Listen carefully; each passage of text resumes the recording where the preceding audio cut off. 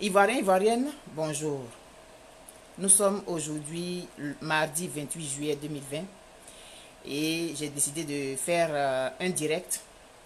Et ce direct, je l'adresse à M. Ahmed Bakayoko, super ministre, député de Seguela, maire d'Abobo.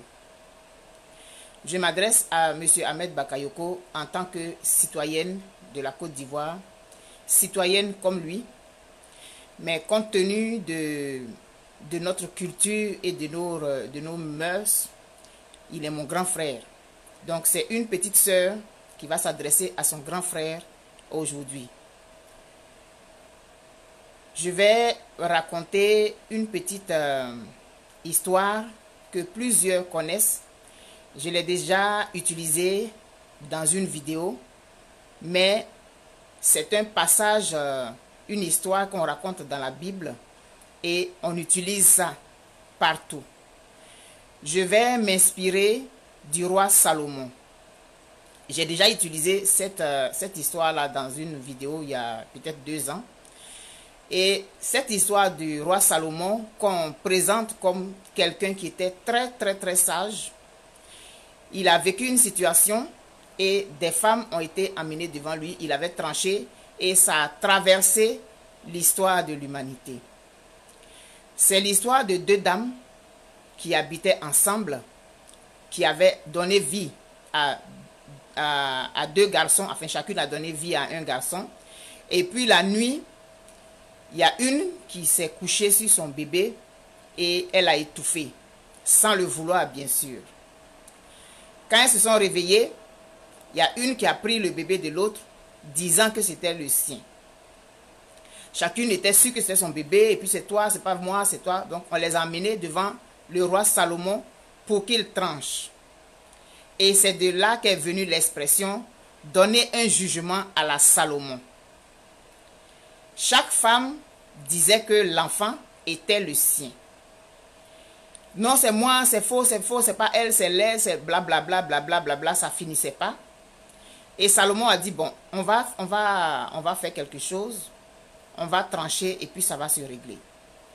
Il a demandé qu'on lui amène une épée et il a dit, bon, comme vous n'arrivez pas à vous départager, on va couper l'enfant en deux et chacune va prendre une partie. Et il y a une des femmes qui a dit, mais voilà, vraiment je comprends pourquoi on dit que tu es très sage. C'est la solution. Il faut qu'on coupe cet enfant en deux. Elle va avoir une partie, moi je vais avoir une partie. J'ai dit que c'est blablabla. Et l'autre a dit, si c'est pour le couper en deux, je préfère qu'on lui donne l'enfant. Comme ça, au moins, l'enfant sera vivant. Et Salomon a dit, donnez l'enfant à celle qui vient de dire qu'elle ne voudrait pas qu'on coupe l'enfant. Elle préfère donner l'enfant à l'autre pour que l'enfant vive. C'est celle-là qui est la véritable mère de l'enfant. Parce qu'une femme ne peut pas accepter qu'on coupe son enfant en deux.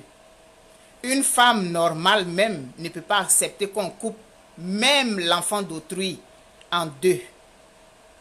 Et c'est comme ça que, sans le savoir, mu par l'amour qui, qui venait de ses entrailles, la femme a préféré perdre son enfant à condition qu'il soit en vie. C'est ça qui lui a permis de démontrer que l'enfant était le sien. Et l'autre femme a été euh, jetée quelque part là-bas, en prison ou je ne sais plus. Avant qu'on continue dans le message que j'ai envie d'envoyer à mon grand frère Ahmed Bakayoko, je vais vous faire écouter une euh, vidéo que j'ai vue tout à l'heure passer. Ça fait quelques jours que j'ai envie de faire ce, direct-là au ministre euh, Ahmed Bakayoko. Tantôt, ça va être le ministre, tantôt, ça va être le député, tantôt, ça va être le maire, tantôt, ça va être le citoyen. Donc, ne soyez pas déboussolés si vous me voyez changer d'interpellation parce qu'effectivement, il fait un cumul de postes. Et donc, je vais vous faire écouter ça et puis on va continuer. C'est bon? J'ai dit bonjour à ceux qui sont déjà là. Et puis, euh, voilà. Donc, je vais, je, vais, euh, je vais faire ce qu'il faut et puis je vais vous présenter la vidéo.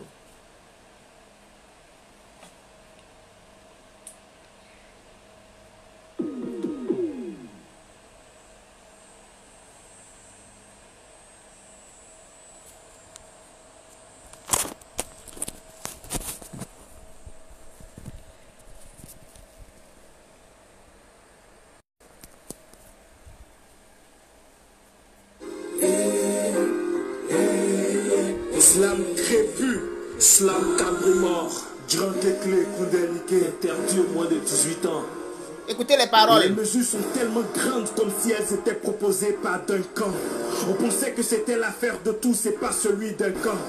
Toutes ces campagnes de sensibilisation étaient mises à mort quand le roi a serré la main de son fils à l'aéroport. Nos salles de spectacle peuvent servir à leur campagne politique. Ils attendent qu'on meure tous pour l'appeler palais de la politique. Les bouteilles de bière ont plus de valeur dans mon pays que les versets du professeur Zaourou a dit.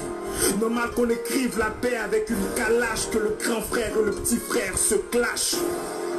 Non, leurs yeux n'ont pas porté des cache C'est juste que la culture est le déchet de notre société. On comprend que c'est bien pour la manger qu'ils ont doré la patate. On nous privera des salles de spectacle pour y organiser nos funérailles paix à Rafat. On demande des parrainages à un peuple qui cherche un parrain. C'est pas la sueur de notre front qu'ils gagnent leur pain. Journal télévisé, on dirait film porno. Octobre arrive, c'est vous les candidats, c'est nous les candidats pro. Dans cette pandémie, il y a ceux qui s'enrichissent et les pauvres. Il y a ceux qu'on tue et il y a les autres. Le pays est tellement à l'envers que tu t'inscris au concours de l'ENA, tu es admis au CAFOP. Voilà, ce slam est un aboiement. Peut-être qu'il passera à la télé. À qui la faute?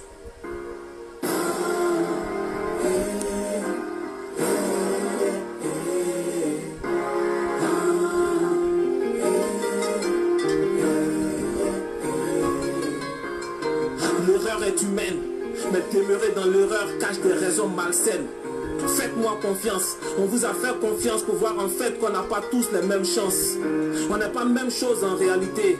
La Covid n'existe que pour ceux qui ne sont pas du bon côté. Ma télé martèle chaque jour les messages de sensibilisation. Et vous, vous nous montrez qu'ici, hmm, les lois ne sont pas faites pour tout le monde. Le bilan de la pandémie est quotidien sur nos écrans. Mais ça, c'est pour nous. Parce que vous, vous vous en foutez éperdument. Les bars sont fermés, des pères de famille vivent dans la détresse. Il en aurait été peut-être autrement si tout le monde passait à l'INJS. Les artistes se meurent dans le silence parce que les salles de spectacle sont fermées. Mais vous, vous vous y retrouvez à plus de 50 pour chanter les louanges de votre majesté. Bien qui sait nous avait alerté, mais on n'a pas compris. Aujourd'hui, ça nous saute en plein visage, nous qui n'avons pas la carte du parti. À qui s'en remettre si même le ministre de la Santé participe à ces rassemblements Covid-Gel avec la bénédiction de ceux qui sont censés faire appliquer nos règles L'indiscipline au sommet de l'État alors que des amendes sont collées à certains. Si à qui la faute est star dans ce pays, vraiment c'est pas pour rien. Libérer le monde du spectacle, les artistes en ont marre. Si la Covid ne vous tue pas, eh bien, nous aussi on s'en sortira.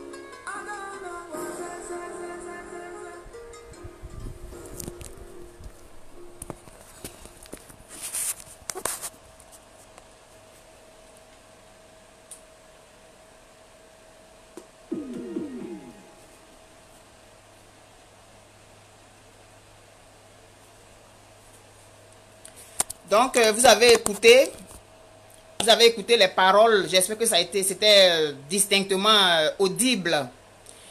J'ai mis le haut-parleur pour que vous entendiez. Et bon, pour ceux qui viennent de me prendre en marche, parce que vous avez remarqué que quand moi je commence une vidéo, un direct, je commence en même temps. Je n'attends pas que beaucoup de personnes s'installent d'abord.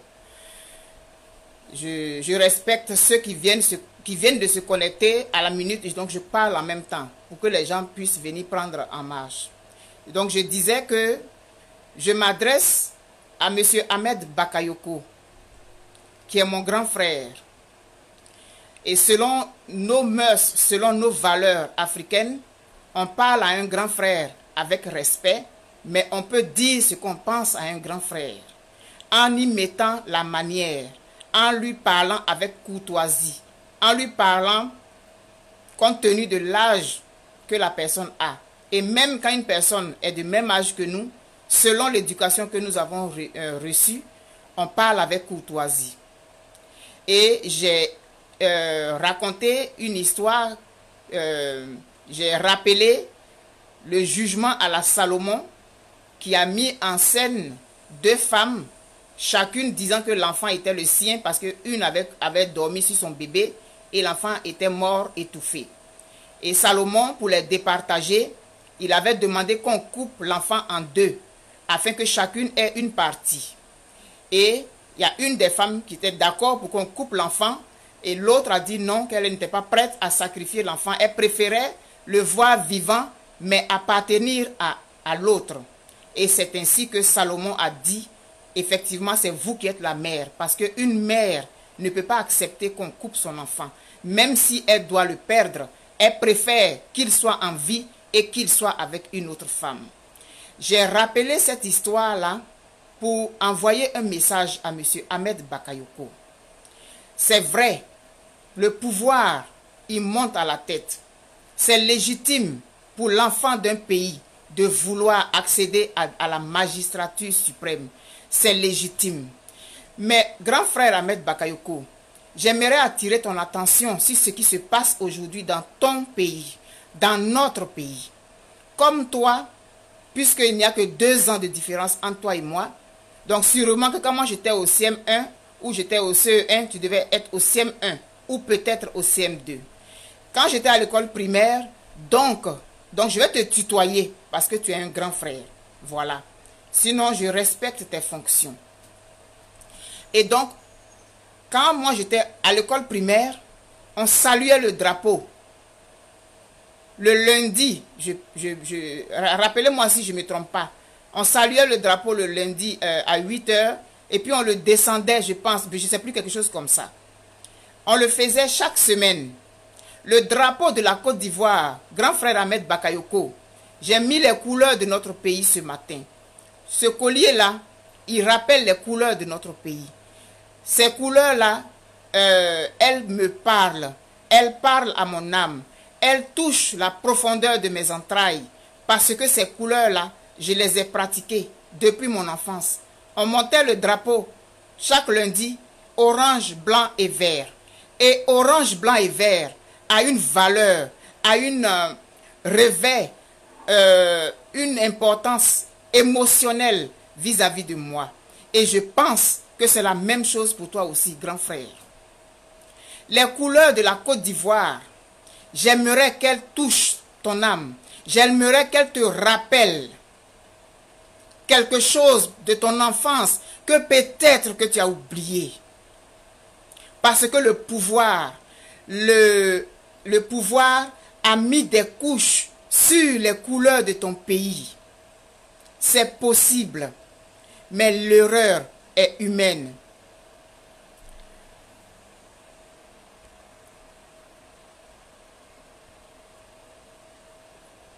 L'erreur est humaine. Donc je peux comprendre que le pouvoir est fait, que tu as oublié les couleurs de ton pays. Le pouvoir est peut-être fait, que tu as oublié que tu es un Ivoirien et que ton pays va dans le mur. Pour ne pas que ce direct soit long, je n'ai pas voulu faire j'avais sélectionné quelques vidéos que j'avais voulu vous faire écouter, mais je, ne voudrais pas que ce soit trop long. Je voulais te faire réécouter ton message qui demande au Worodougou d'accorder, de demander un troisième mandat au président Alassane Ouattara. Grand frère Ahmed Bakayoko, est-ce que tu vis en Côte d'Ivoire?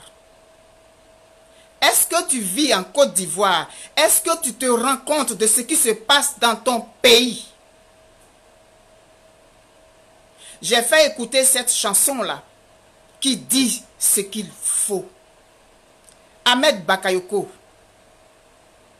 il semble que le Covid ou la Covid tue des gens en Côte d'Ivoire. Et tu demandes aux gens de Worodougou de sortir, faire une demande pour un troisième mandat. Donc toi, ça ne te dérange pas que ton peuple aille chercher la maladie simplement pour qu'une personne soit au pouvoir encore. Ahmed Bakayoko, la Côte d'Ivoire, là, c'est ton pays. Le peuple de Côte d'Ivoire est ton peuple. Nous avons les mêmes racines. C'est le même sang qui coule dans nos veines. Nous avons une histoire commune, Ahmed Bakayoko. C'est à toi que je parle ce matin. Le pouvoir, on ne le fait pas au détriment de sa maison. On ne cherche pas le pouvoir au détriment de son peuple, Ahmed Bakayoko. Tu es musulman. Tu es allé à la Mecque. Mais selon ce que j'ai toujours vu, quand le musulman parle, il dit Inch'Allah. Si Dieu le veut. Parce que le bon musulman, il sait qu'au-dessus de nos têtes, il y a une force supérieure. Dans moi, ma langue, on dit Lagoka Gbanan. Ça veut dire si Dieu a permis. Lagoka. Donc quand on dit quelque chose, on dit Lagoka Gbanan. Parce qu'on sait que nous ne sommes pas les maîtres de notre propre vie. Nous pouvons prendre des décisions, nous pouvons faire des choses au quotidien, mais nous ne sommes pas maîtres de nos vies. Tu fais des déclarations, tu as dit des choses, c'est bouclé, c'est géré. Tu n'as pas mis Inch'Allah dessus.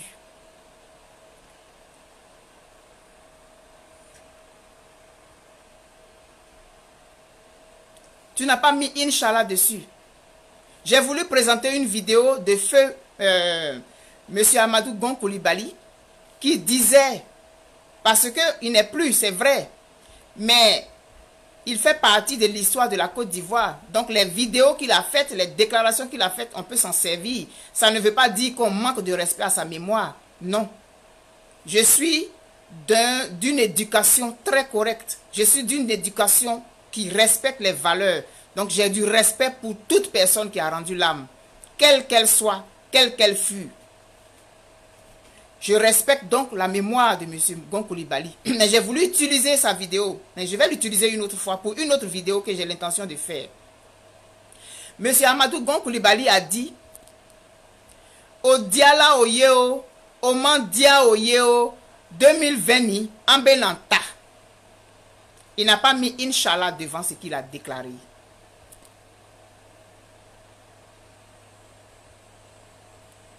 Il n'a pas mis Inch'Allah devant ce qu'il a déclaré. Parce qu'il est allé à la Mecque. Mais est-ce qu'il était un si bon musulman? Parce qu'un bon musulman, quand il parle, il dit Inch'Allah. Toutes les déclarations que vous avez faites, il n'y a jamais vu Inch'Allah dessus. Dieu nous a démontré que c'est lui qui est souverain. Monsieur Amadou Gonklibali ne pourra pas prendre le 2020 qu'il a dit, que ça leur plaise ou que ça ne leur plaise pas au 2020 là, on va prendre. Il n'a pas mis Inch'Allah devant. Dieu a démontré que c'est lui qui décide. C'est géré, c'est bouclé. Tu n'as pas mis Inch'Allah devant. Mais Ahmed Bakayoko, je veux te rappeler les couleurs de ton pays. Ce pays-là, il part d'Abidjan à Tangrela. Il part de Taï à Bouna, Bondoukou. Et tous ceux qui sont dans ce périmètre-là, ils sont de la Côte d'Ivoire. Ce pays-là, je suppose qu'il est le tien. Est-ce que tu peux accepter qu'on coupe ton pays en deux Comme cette dame dans l'histoire du jugement de Salomon qui voulait qu'on coupe l'enfant en deux pour que chacune ait une partie. Moi, je dis, quand c'est ton enfant, tu n'acceptes pas. Donc, Ahmed Bakayoko, si la Côte d'Ivoire est ton pays, si le peuple de Côte d'Ivoire est ton peuple, si les Ivoiriens sont tes frères, tu ne peux pas accepter de pousser ton pays dans le gouffre. Non, tu ne peux pas accepter ça. Mais moi, je pense que tu es de la Côte d'Ivoire. Je pense que toi et moi, nous avons les mêmes ancêtres. Je pense que toi et moi, nous avons le même, la même histoire. C'est pourquoi je m'adresse à toi aujourd'hui. C'est légitime que tu aies tes ambitions, mais ne les fais pas au détriment de ton pays. Ne les fais pas au détriment de ton peuple, Ahmed Bakayoko. Souviens-toi, quand tu étais enfant, tu as joué au billes avec d'autres dans le quartier. Et ceux-là, c'était des bêtés, des baoulés, des adjoukrou, des abais, des senufo, des tagbana, des jimini, des toura, des odieneka, des maoka, des guérés, des ébriés, parce qu'on vivait tous ensemble. Nous avons grandi ensemble dans les mêmes périmètres. Nous avons joué tous ensemble. Ahmed Bakayoko, c'est ce pays-là que tu es en train de pousser dans le gouffre avec ta complicité. Qu'est-ce que tu vas laisser à tes enfants, Ahmed Bakayoko? Qu'est-ce que nous allons laisser à nos enfants? Parce qu'aujourd'hui, moi, je suis grand-mère. Je suppose que peut-être que tu es grand-mère, tu es grand-père aussi parce que, comme je suis femme, j'ai peut-être fait un enfant avant toi. Qu'est-ce que nous allons laisser à nos enfants, Ahmed Bakayoko? Si nous ne sommes pas capables de faire la part des choses au nom de la politique, c'est normal qu'on se trompe. En tant qu'être humain, on peut avoir des erreurs de jugement, on peut avoir des erreurs de parcours. Moi, je ne suis pas parfaite. Dans ma vie, j'ai fait des erreurs. J'ai pris des décisions qui n'étaient pas bonnes sur le moyen terme. Et un jour, je me suis rendu compte que pour telle ou telle décision que j'avais prise, elle n'était pas la bonne et j'ai fait ma arrière. En tant que mère, j'ai eu à prendre des décisions que je pensais bonnes pour mes enfants, peut-être. Et avec le temps, je me suis rendu compte que ce n'était pas la bonne décision. Ahmed Bakayoko, tu as eu à prendre des décisions pour, ton, pour toi, c'est vrai. Mais je pense qu'aujourd'hui, tu dois réfléchir au, futur de ton pays. Ahmed Bakayoko, je te parle en tant qu'Ivoirienne. Je te parle en tant que citoyenne qui vient du même pays que toi. Je te parle en tant que quelqu'un qui a les mêmes racines que toi, qui a le même passé que toi, qui a une histoire commune avec toi, qui montait le drapeau quand elle était au primaire. On se rassemblait tous autour du drapeau de notre pays et on le montait. Ahmed Bakayoko, j'en appelle à la fibre patriotique qui est peut-être enterrée par l'ambition. Je t'en prie, gratte, gratte, gratte et fais ressortir cette fibre patriotique que tu dois voir en toi sûrement. Je t'en prie, Ahmed Bakayoko. Regarde aujourd'hui notre pays, là où il va. On demande un troisième mandat alors que notre constitution le refuse. Regarde toute cette mascarade. Est-ce que tu veux être complice? Regarde tous ceux avec qui tu t'étais embarqué dans cette aventure. Plusieurs sont partis. Pourquoi? Pourquoi? Parce qu'ils ont compris. Ils ont commis des erreurs. Mais aujourd'hui, ils se sont rendus compte qu'ils n'avaient pas pris la bonne décision. S'il te plaît, Ahmed, je t'appelle Ahmed parce que tu es mon grand frère de deux ans. Si toi et moi, on avait grandi ensemble dans le même quartier, je t'aurais appelé Ahmed. Toi et moi, on aurait joué ensemble au soleil placali d'Omou. Toi et moi, on aurait joué ensemble aux gendarmes et voleurs. Toi et moi, on aurait joué ensemble à à la corde. Je t'en prie, Ahmed. Je t'en prie, Ahmed. Regarde où notre pays s'en va, je t'en prie. Ressaisis-toi, tu as encore le temps. Regarde autour de toi. Tout est désert aujourd'hui. Tout le monde est parti. J'en appelle. J'en appelle, je t'en prie. Ahmed, fais-le pour ton pays. Arrête cette mascarade-là, je t'en prie. Parce que si ce pays-là brûle, toi et moi allons nous mordre les doigts. Si notre pays brûle, Ahmed Bakayoko, toi et moi, nos souvenirs seront partis en fumée. Si ce pays-là brûle, Ahmed, toi et moi, notre passé commun, il sera parti en fumée. Je t'en prie. Le pouvoir, c'est vrai qu'il donne une ivresse. mais je te parle le langage du cœur. Je te parle avec mes tripes ce matin. Tu as encore le temps de faire marche arrière. Ne pousse pas ton pays dans les flammes. Ne pousse pas ton pays dans l'abîme, je t'en prie.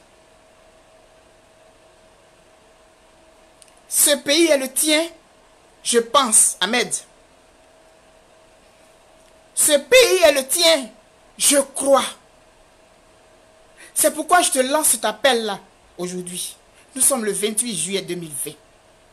Je t'appelle, Ahmed. Pense aux endroits où tu as grandi. Bonjour. bonjour. Vous savez que pour éviter les jaloux, là, je ne salue pas souvent les gens personnellement. Arsène Kipré, bonjour, merci d'être là. Je suis ému parce que je te parle avec mes tripes, Ahmed. Et je t'appelle Ahmed, pas parce que je te manque de respect. Mais regarde aujourd'hui tout ce qui se passe. On parle de coronavirus. Mais regarde, tout le monde est dans les rues. Mais franchement, je parle à ceux qui sentent que la Côte d'Ivoire est leur pays. Je parle à ceux qui ont la fibre patriotique, qui savent d'où ils viennent et qui savent qu'à part la Côte d'Ivoire, ils n'ont rien d'autre. C'est notre bien. Ahmed, c'est notre pays. Ahmed, n'aide personne à brûler la maison paternelle. Je suis d'accord qu'à un certain moment, tu t'es laissé emporter, comme plusieurs d'entre nous s'étaient laissés emporter, s'étaient laissés entraîner. Mais aujourd'hui, tu ne vas pas commettre la même erreur. La deuxième fois, Ahmed. Tu ne feras pas ça encore une fois, je t'en prie. C'est ce que j'avais envie de t'envoyer comme message aujourd'hui. Je voulais te faire réécouter le message que tu as envoyé à ta population du Worodougou, à qui tu as demandé de demander un troisième mandat. Et pourtant, il y a une vidéo qui a circulé qui montre une route de chez toi, Worofla. Ahmed, Worofla, c'est chez toi, n'est-ce pas? Il n'y a pas de route.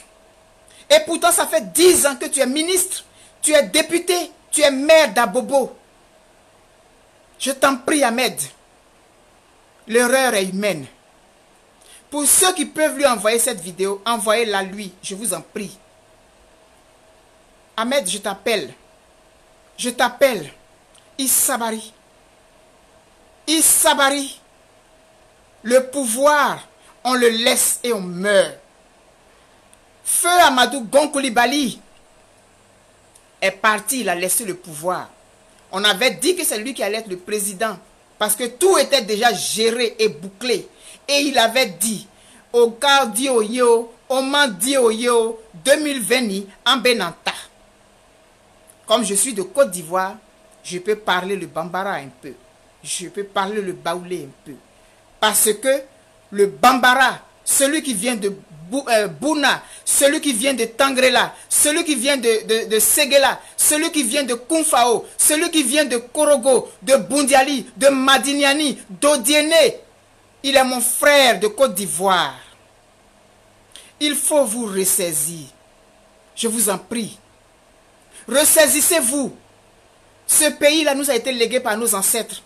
Ne le laissons pas aller à la dérive pour des intérêts dont nous n'allons même pas profiter tu es de Diené, tu es de Tangrela, tu es de Korogo, tu es de Bundiali, tu es de Taï, tu es de Bouna, tu es de Côte d'Ivoire.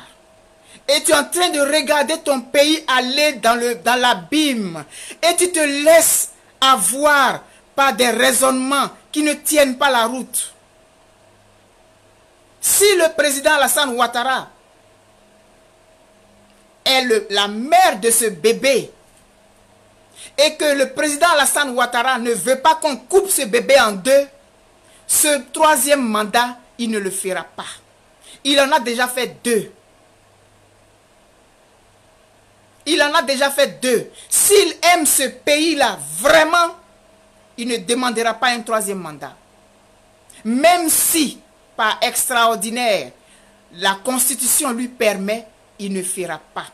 Parce qu'il ne voudra pas qu'on coupe ce pays en deux comme la mère de cet enfant a dit, je préfère que l'autre prenne l'enfant au moins qu'il soit en vie. Alors que le président Alassane Ouattara dise, j'ai déjà fait deux mandats, je préfère qu'une autre personne, même si ce n'est pas mon parti, même si ce n'est pas moi, je préfère que mon pays soit dans la paix. Parce que tous les germes d'une confrontation sanglante sont en train de s'accumuler les uns et les autres. Et on regarde. Et on est en train de s'amuser avec notre pays. C'est pourquoi je t'appelle, Ahmed Bakayoko. C'est pourquoi je tire la sonnette d'alarme et j'essaye de parler à ton cœur. Et j'essaye de parler à tes entrailles. Et j'essaye de parler à ta fibre patriotique qui est allée s'encrasser par le pouvoir, par la volonté de prendre le pouvoir à tous les prix. Non. Qu'est-ce que tu vas laisser à tes enfants? Qu'est-ce que nous allons laisser à nos enfants, toi et moi, Ahmed, qui avions joué ensemble dans la poussière à Trècheville, à Makori, à Tekoubé, à Lokodro, à Boaké, à Korogo, n'importe où. Qu'est-ce que toi et moi allons laisser à nos enfants? Nous sommes en train de rassembler les ingrédients d'une déflagration sanglante. Tu veux être complice de ça? Je ne t'encourage pas. Je ne t'encourage pas, frère. Voilà pourquoi je t'envoie ce message aujourd'hui. Partagez la vidéo. Faites en sorte qu'elle parvienne à mon frère, mon grand frère Ahmed Bakayoko. N'accepte pas l'imposture. N'accepte pas la forfaiture. Tu peux l'avoir accepté à un moment de ta vie. Mais tu ne peux plus l'accepter à 50 ans passés. Tu ne peux plus accepter de laisser ton pays aller à la dérive. Non, tu ne dois plus le faire, frère. Non. Je vous aime tous. Je me suis adressé à mon frère Ahmed Bakayoko. Je me suis adressé à mon frère Ahmed Bakayoko. Je me suis adressé à mon frère Ahmed Bakayoko. J'ai lancé un appel du cœur à mon frère Ahmed Bakayoko. J'ai lancé un appel de mes tripes avec à mon frère Ahmed Bakayoko. Ahmed Bakayoko, Mbi là? Mbi là? Faut me répondre. Je t'en prie. Je t'en prie. Je vous aime très fort. Tout ce qu'on peut faire sur cette terre-là, tout ce qu'on peut avoir comme bien, c'est vérifier. On ne part pas avec. Mais notre mémoire, le nom qu'on laisse dans l'histoire, lui, il nous suit, même si nous sommes morts. Tes grandes réalisations que tu es en train de faire aujourd'hui, elles ne te suivront pas dans la tombe. Mais le nom que tu vas laisser, c'est lui qui va te suivre partout où tu iras, frère Ahmed. Même si demain tu n'es plus ministre, même si demain tu n'es plus député, même si demain tu n'es plus maire, ton nom Ahmed Bakayoko, tu peux le laver et lui, lui donner une autre présentation. Tu as encore le pouvoir de le faire. Tous ceux qui sont restés dans l'imposture et dans la forfaiture et qui sont morts dedans n'ont plus la possibilité de changer la donne. Tu as encore la possibilité de le faire. Nos ancêtres t'appellent Ahmed Bakayoko parce que nous avons les mêmes ancêtres nous avons les mêmes ancêtres, Ahmed Bakayoko. Nos ancêtres, les abbés qui se sont révoltés en 1910, ce sont nos ancêtres. Ils sont abbés, mais ils sont ivoiriens. Même si à cette époque-là, il n'y avait pas encore Côte d'Ivoire, mais ils étaient sur le territoire de la Côte d'Ivoire. Je t'appelle aujourd'hui, grand frère. Tu es tout puissant. Tu peux faire tout. Mais tu n'as même pas la possibilité de décider quand ton souffle de vie va s'arrêter. Tu n'as pas cette possibilité. Si Feu Amadou Gon avait cette possibilité-là, il serait encore de ce monde.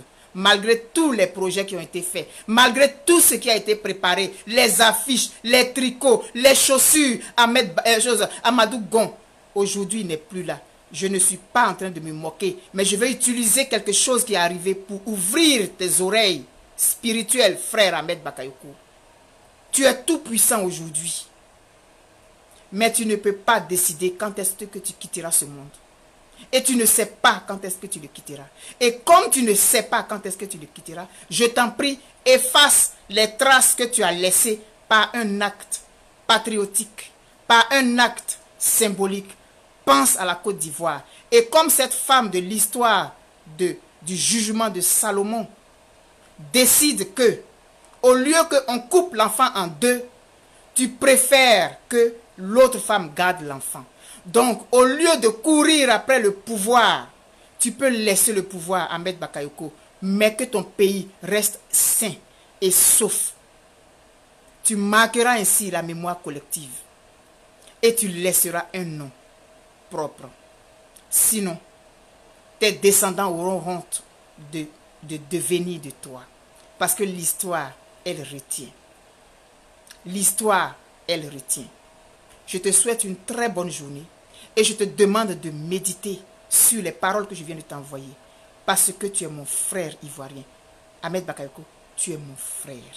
Et je t'aime, même si tu as pris des décisions, même si tu as fait des choses que je n'aime pas. Tu es mon frère Ahmed Bakayoko. Et quand un frère a fait une erreur et qu'il revient à la maison, moi, je lui ouvre mes bras. Quand un frère a fait une erreur, qu'il reconnaît, qu'il revient à la maison, je lui ouvre mon cœur parce que c'est mon frère. Et parce qu'un être humain est capable de faire, de faire des erreurs, je peux comprendre que mon frère ait fait des erreurs. Mais quand mon frère persiste dans l'erreur, je lui donne le dos. Mais je ne voudrais pas te donner le dos parce que tu as la possibilité de changer le cours de l'histoire de ton pays, Ahmed. Tu as la possibilité. Tu as la possibilité. Je t'aime très fort. Je t'aime beaucoup. Même si tu ne réfléchis pas comme moi actuellement. Je t'aime simplement parce que d'abord, tu es un être humain comme moi. Tu es un noir, tu es un africain, tu es un ivoirien. C'est suffisant pour que je t'aime. Il faut aimer ton pays. Et il faut le mettre devant. Mets ton pays avant tes ambitions personnelles. Parce que tu as un héritage à laisser. Je te souhaite une très bonne journée. Et je t'ai envoyé ce message avec mon cœur, avec mon âme, avec mes tripes. Parce que la Côte d'Ivoire est notre seul bien. Il est notre seul bien. Et nous devons le laisser à nos enfants intact. Je vous aime très fort, vous tous qui m'avez suivi aujourd'hui. Partagez la vidéo et que ceux qui ont la possibilité de la faire envoyer à M. Ahmed Bakayoko le fassent.